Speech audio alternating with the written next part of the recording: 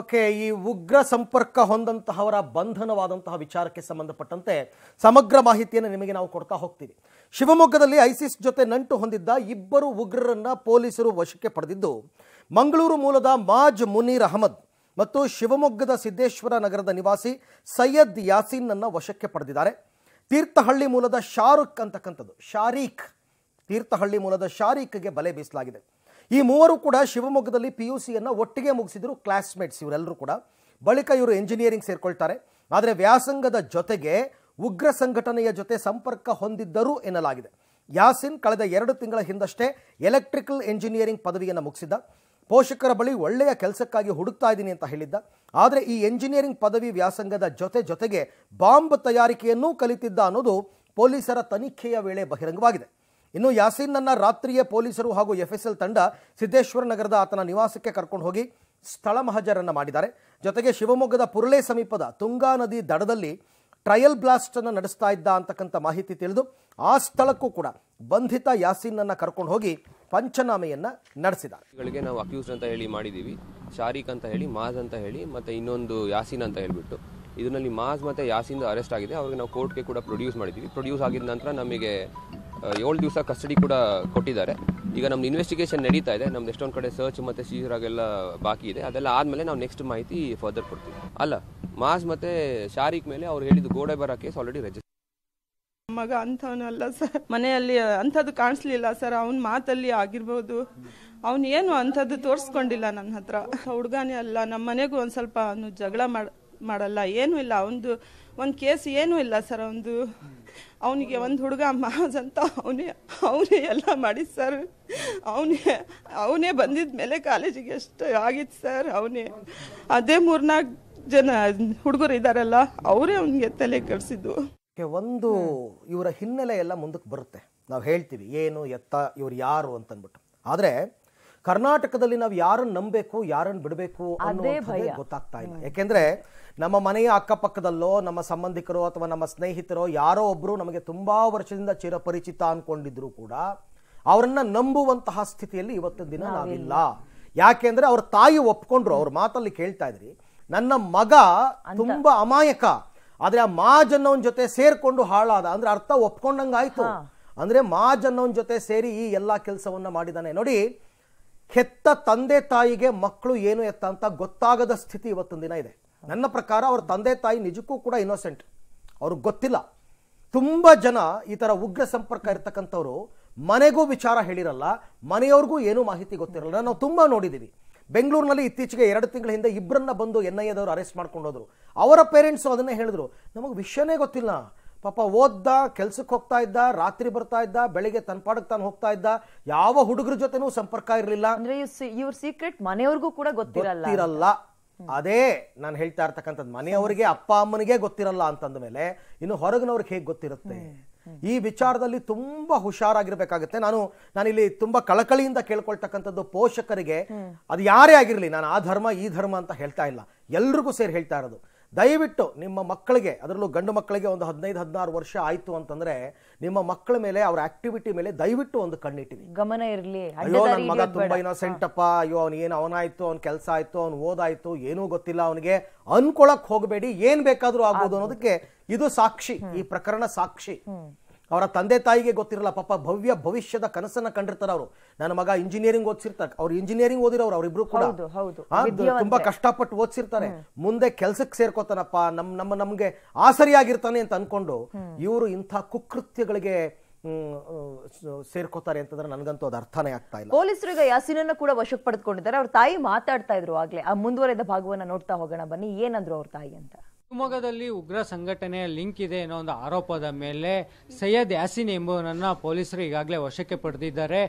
ಆತನನ್ನ ತೀರೋ ವಿಚಾರಣೆ ಕೂಡ ಒಳಪಡಿಸಿದ್ದಾರೆ. ಇದೀಗ ಮಾತನಾಡೋದಕ್ಕೆ ಸ್ವತಃ ಸೈಯದ್ ಯಾಸಿನ್ ಅವರ ತಾಯಿಯಾದಂಥ ವಸೀನಾ ಖಾನಮ್ ಅವರು ನಮ್ಮ ಜೊತೆಗಿದ್ದಾರೆ. ಅಮ್ಮ, ಹೇಳಿ ನಿಮ್ಮ ಮಗಿಗೆ ಉಗ್ರ ಸಂಘಟನೆ ಜೊತೆ ಲಿಂಕ್ ಇದೆ ಅಂತ ಪೊಲೀಸರು ಆತನ ಅರೆಸ್ಟ್ ಮಾಡಿದ್ದಾರೆ. ಏನು ಹೇಳೋದಕ್ಕೆ ಬಯಸ್ತಾರೆ? ಸರ್, ಅದೆಲ್ಲ ನನಗೆ ಗೊತ್ತಿಲ್ಲ ಸರ್. ಅವನು ಓದ್ತಾ ಇದ್ದ. ಓದಿ ಎರಡು ತಿಂಗಳಾಯ್ತಲ್ಲ ಆಮೇಲೆ ಟೂರಿಗೆ ಹೋಗ್ತಾ ಹೋಗ್ತೀನಿ ಅಂತ ಇದ್ದ. ಟೂರಿಗೆ ಹೋಗಿದ್ದಾನೆ ಟೂರಿಗೆ ಹೋಗಿದ್ದಾನೆ ಬರ್ತಾನೆ ಎಲ್ಲೂ ದೂರ ಹೋಗಿದ್ದಾನೆ. ಅಲ್ಲಿ ನೆಟ್ವರ್ಕ್ ಸಿಗ್ತಾ ಇಲ್ಲ ಅಂತ ನಾನು. ಕಾ- ಆಮೇಲೆ ಗೊತ್ತಾಯ್ತು ಪೊಲೀಸ್ ಕರ್ಕೊಂಡು ಹೋಗಿದ್ದಾರೆ ಅಂತ ನಮ್ಮ ಮಗ ಅಂಥವನಲ್ಲ ಸರ್. ಟೂರ್ ಹೋಗ್ತೀನಿ ಅಂತ ಹೋಗಿದ್ರು?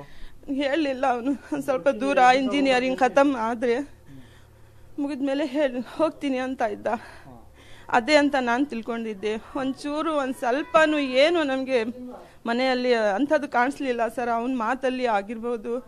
ಅವನು ಏನು ಅಂಥದ್ದು ತೋರಿಸ್ಕೊಂಡಿಲ್ಲ ನನ್ನ ಹತ್ರ. ಅದೇ ಅವನದು ಏನು ತಪ್ಪಿಲ್ಲ ಸರ್ ನಮಗಂದು. ಮಗಂದು ಅವನೇ ಮಾಜೆಲ್ಲ ಎಲ್ಲ ಮಾಡಿದ್ದು. ಮಾಸ್ ಸಿಗಿದ ಮೇಲೆ ಇಷ್ಟೆಲ್ಲ ಅವನ ಮೈಂಡಲ್ಲಿ ಬಂದಿದ್ದು. ಫಸ್ಟ್ ಏನೂ ಇರಲಿಲ್ಲ ಅವನು. ಫಸ್ಟ್ ಏನೂ ಇರಲಿಲ್ಲ.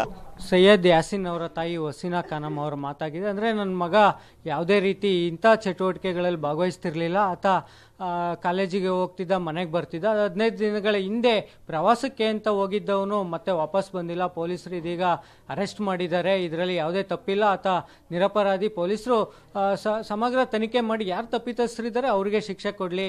ನಮ್ಮ ಮಗ ಇದರಲ್ಲಿ ಯಾವುದೇ ರೀತಿ ಇನ್ವಾಲ್ವ್ಮೆಂಟ್ ಇಲ್ಲ. ಬೇಕೇ ಆತನ ಸ್ನೇಹಿತರಿಂದಾಗಿ ಈ ರೀತಿ ಒಂದು ಈ ರೀತಿ ಆಗಿದೆ. ಇದರಲ್ಲಿ ನನ್ನ ಮಗಂದು ಯಾವುದೇ ತಪ್ಪಿಲ್ಲ ಅನ್ನೋದು ಆ, ಸೈಯದ್ ಯಾಸಿನ್ ಅವರ ತಾಯಿ ವಸೀನಾ ಖಾನಮ್ ಅವರ ಮಾತಾಗಿದೆ.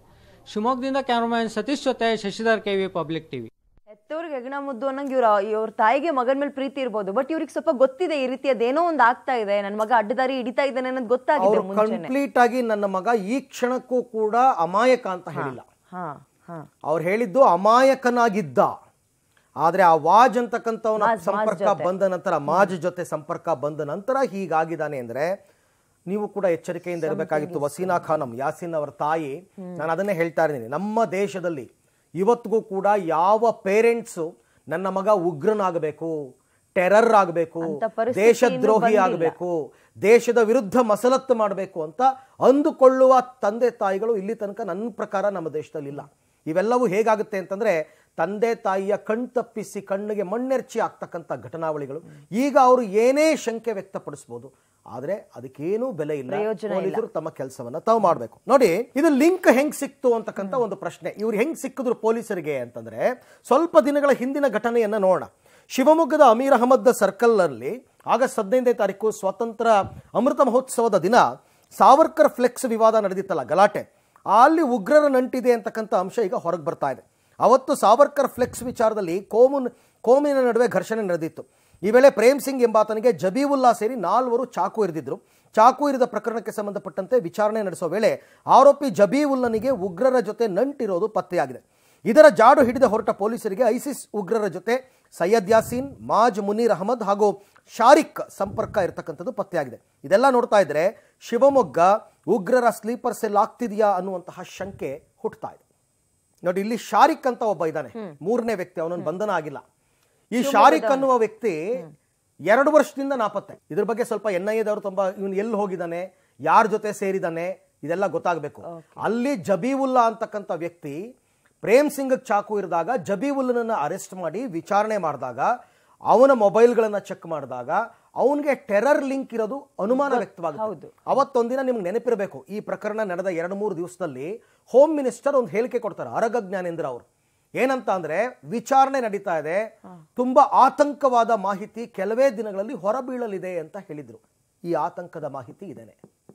ಆತನಿಗೆ ಇವರೆಲ್ಲರ ಸಂಪರ್ಕ ಇತ್ತು ಯಾಸೀನ್ ಮಾಜ್ ಮುನೀರ್ ಮತ್ತೆ ಶಾಕಿ ಈ ಶಾರಿಕ್ ಇವ್ರು ಯಾರು ಅಂತ ಪತ್ತೆ ಹಚ್ಚೋದಕ್ಕೆ ಹೋದಾಗ ಇವರಿಗೆ ಟೆರರ್ ಲಿಂಕ್ ಡೈರೆಕ್ಟ್ ಆಗಿದೆ ಅಂತಕ್ಕಂಥದ್ದು ಗೊತ್ತಾಗಿದೆ.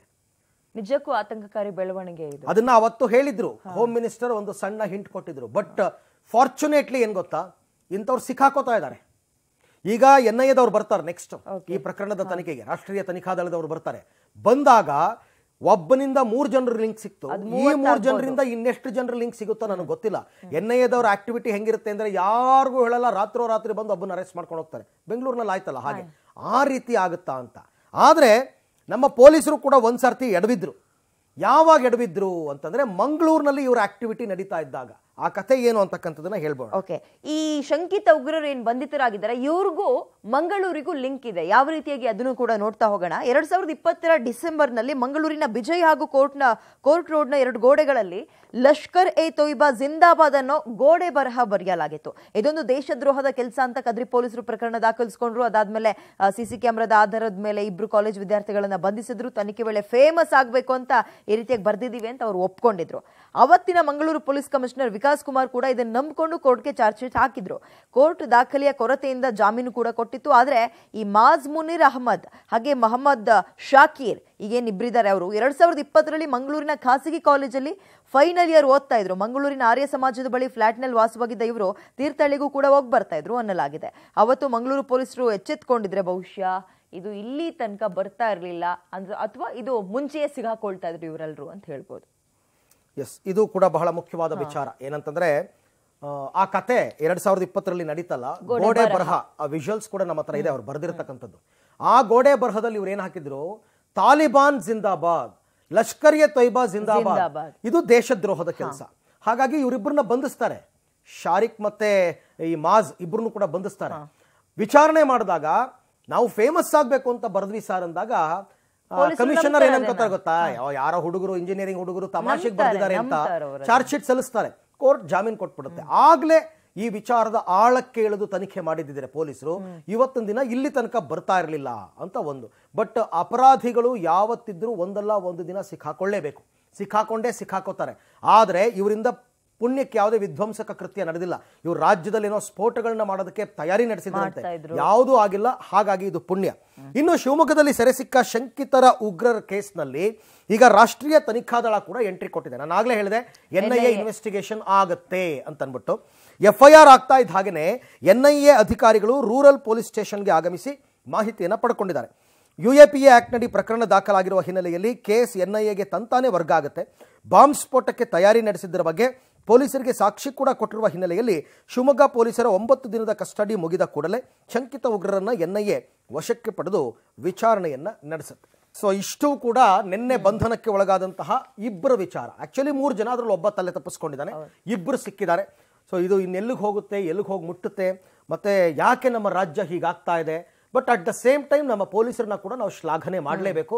ಹುಡುಕ್ತಾ ಇದ್ದಾರೆ ಇಂಥವ್ರನ್ನ. ಲಿಂಕ್ ತಗೋತಾ ಇದ್ದಾರೆ. ಸುಮ್ಮನೆ ಕೂತಿಲ್ಲ. ಹಾಗಾಗಿ ಮುಂದೆ ಇಂಥವರ ಸಂಖ್ಯೆಗಳು ಕಡಿಮೆ ಆಗಬೇಕು ಅಂತಂದರೆ ಪೊಲೀಸರು ಇನ್ನಷ್ಟು ಆಕ್ಟಿವ್ ಆಗಬೇಕು. ಆ ರೀತಿ ಆಗಲಿ ಅಂತಕ್ಕಂಥ ಹಾರೈಕೆ.